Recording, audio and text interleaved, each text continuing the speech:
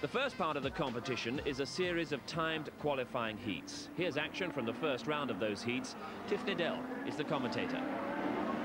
Doran and Gollop, they're neck and neck up to this important first corner at paddock. Gollop trying to get around the outside. It's slippy still, and he's lost it round. Just tapped Doran, but uh, Gollop way out. And now John Welch comes through to second place as Gollop. Here we are in car. He's on the outside trying to get, and he just locks up the brakes, taps Doran, and he's already changing gear to get down to first gear to get going again. But out front, it's Doran now with a little bit of a lead over Welch. And these two keen to get good times in from these qualifying heats to get on the Durham wide, all through the tyres, onto the grass, trying to get on back onto the track for Clearways here. He still leads. This is, and Welch, Welch dives up the inside and later not. Doran's off. No, he's not. He's grappling for it. Four-wheel drive, of course, this Group A Escort.